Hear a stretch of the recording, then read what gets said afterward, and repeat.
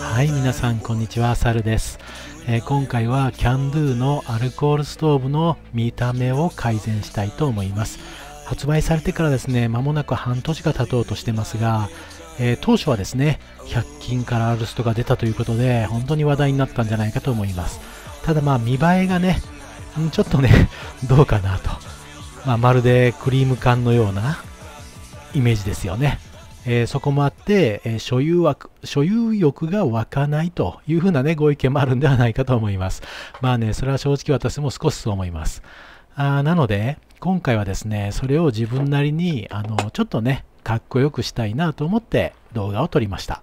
以前 YouTuber のボンさんが、えー、真っ黒にですね、耐熱塗装されてる動画があって、まあ、それを見た時もね、ああ、こうなんにするとシックになってかっこいいなと思ったんですけど、私がね、やりたい、えー、見た目とはちょっとまたね、イメージが違ったので、今回は私風にやってみようと思います。えー、手段はですね、えー、これがクリーム缶ですね。はい。えー、これをですね、すすで塗装というかね、えー、かっこよくしたいんです。このアルストはあの吸血仕様にしたやつで、小さい穴はね、え裏からえ、アルミのテープで留めてるやつなんですけど、燃焼の仕方はすごく綺麗でね、あの、好きなんです。あとはもう見栄えだけなので、こんな風にね、えー、薪で、薪を燃やしてすすをつけてやろうかなと思います。この部分は、あの、カットせずに、まあ、編集でね、途中切らずに流しますね。まあ、結構ね、時間かかるはかかるんですけど、ちょっとその辺もね、含めて、えー、動画として記録したいと思います。はい。こんな感じで少しずつね、すすがついていきます。すすっていうのはですね、まあご存知の方多いと思いますけど、木材なんかを燃やすと、どうしてもですね、あの酸欠、まあ、部分的にね、酸欠になるところから、まあ、炭素がね、完全に燃えないで、えー、くっついちゃうんですね、クッカーとか。今こういうね、黒い風になっちゃうんです。あの炭素の粒ってすごくね、小さくて、数十ナノメートルぐらいですかね。ものすごい小さいので、まあ、一回ついちゃうと、あの、入り込んでね、あの、取れない。油汚れとかでもないので、洗剤で洗っても取れない。ということで、逆に言うとね、あの、すすつけるとね、落ちにくいので、まあ、そういうのをね、利用して、すすでの塗装という感じにしてみたいなと思ってます。だいぶ焼けてきましたね。はい、こんな風にちょっとね、ムラ、ムラなく焼くというのも 変なんですけど、えー、位置を変えたり、えー、回転させたりしながらですね、すすをまんべんなく最初につけていきます。まあ、いわばすすコーティングみたいなもんですね。はい、これアルミなんでね、あの、柔らかくなるんで、この時にね、あの、曲がらないようにちょっと注意をしてます。特に蓋ですね。もう柔らかいので、なんかでね、曲がっちゃいますね。もうこれぐらいでいいですかね。はい。じゃあちょっと蓋は冷やしておきます。であとこちらのね、本体の方も、えー、だいぶね、黒くなってきましたので、このまま様子を見ていきましょうかね。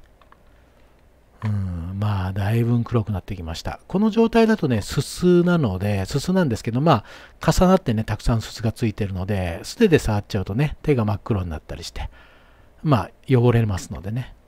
洗うのは洗うんですけど、まあ大体こんな感じでいいですね。はい。では、第2段階。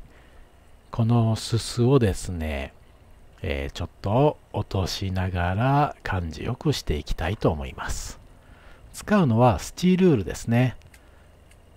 まあ、水で濡らした後軽く水を切りまして、こんな風に、えー、こすっていきますね。あんまり強くこすりすぎるとね、ヤスリみたいな効果で削れて、あの、綺麗になっちゃうので、ピカピカになってしまったら意味がないので、様子を見ながらね、えー、自分が落としたいところだけを落としていきます。面白いですね、こういうのね。えー、なかなか楽しいんでね、もしよかったらご興味ある方はやってみてください。すすつけないといけないんでね、あの、ガスコンロ、ガスバーナーとかではできないですけどね。焚き火だったり、まあ、あるいはもしかしたらろうそくでもすすはつくのでできるかもしれないですね。はい、ここもね、ちょっとどんな感じかなっていうのをね、まあ、自分の中でもこう面白い部分なので、えカットなしであえて流させていただきますね。えー、ちょっと結論だけ見たい方はね、先にスキップしていただいたらいいかなと思います。蓋の方が大体できましたので、今度はこちらの本体の方も同じように、ちょっと様子を見ながらね、すすを削り落としていこうと思います。スチールールでね、あのー、やるのが多分一番いいんじゃないですかね。なんかこう、えー、や、ヤスリでもいいんでしょうけどね。まあ、ヤスリだとすぐに目が詰まってしまうし、スチールぐらいの方が、えー、力を入れればね、ゴシゴシと削れるし。やりやすいような気がします。いいですね。だんだん良くなってきましたね。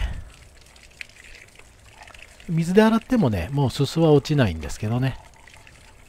えー、こんな感じです。どうでしょう？あのー、私の中ではね、もうかなりこう、満足感がありますね。はい。これならね、いけるんじゃないかなと。思います。まあ、蓋の裏もね、こうしっかり焼けてますけどね。